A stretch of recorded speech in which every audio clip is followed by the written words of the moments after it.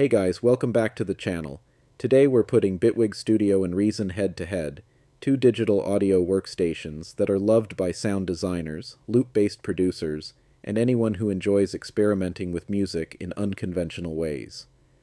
Both are powerful, but they take very different approaches to creativity. Let's start with Bitwig Studio. Bitwig has built a reputation for being modular, flexible, and fast. Its interface is clean and adaptable, with the Arranger timeline on top and the clip launcher below, so you can work in both linear and loop-based workflows, just like in Ableton Live. One of Bitwig's biggest strengths is the grid, a fully modular sound design environment where you can build your own synths, effects, and audio processors from scratch. It's incredibly deep, but still approachable, especially if you're into custom signal chains and experimental sounds.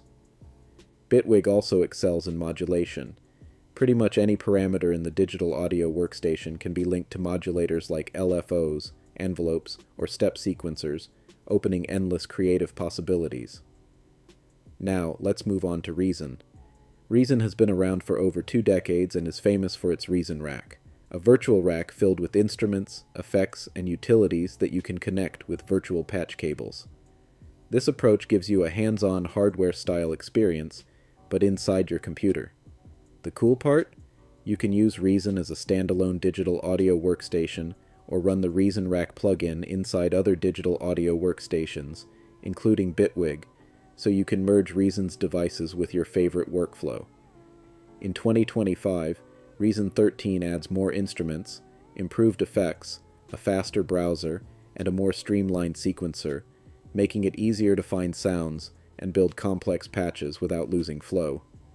Now, let's talk about workflow. Bitwig Studio is modular from the ground up. Even outside of the grid, the modulation system makes it feel like everything is interconnected. It's perfect for electronic producers, experimental musicians, and anyone who loves pushing sound design to its limits. Reason is rack-centric. While you can produce full songs on the timeline, the real magic is in flipping that rack around, connecting devices with patch cables, and building unique signal chains. It's an incredibly tactile way to make music, even with just a mouse and keyboard. So how do they compare in pricing? Bitwig Studio offers three editions. Essentials, 99 euros, or about 109 US dollars. This includes all the core features, 10 modulators, and a starter set of instruments and effects. Producer, 199 euros, or about 219 US dollars. This version adds more instruments, more effects, and expands modulation to 18 modulators. Full Bitwig Studio, 399 euros, or about 439 US dollars. This is the complete package with 154 instruments and effects, 42 modulators, the full sound library, and access to the grid modular environment. Reason is available in two ways. Reason plus subscription, $1 for the first month, then $19.99 per month. Includes the latest Reason version, the complete Reason rack, all present and future content, and cancel anytime. Reason 13. Perpetual license. $499 one-time payment, with an upgrade price of $149. Includes the core Reason rack and point updates. So, which is better? If you want next-level modulation, a modern clip-based workflow, and a built-in modular environment, Bitwig Studio is hard to beat.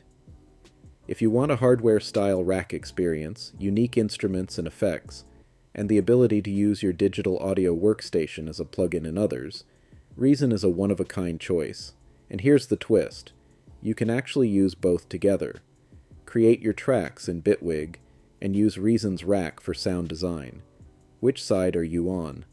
Team Bitwig or Team Reason? Drop your thoughts in the comments, give this video a like if it helped, and subscribe for more music production comparisons every week. Thanks for watching, and as always, keep creating.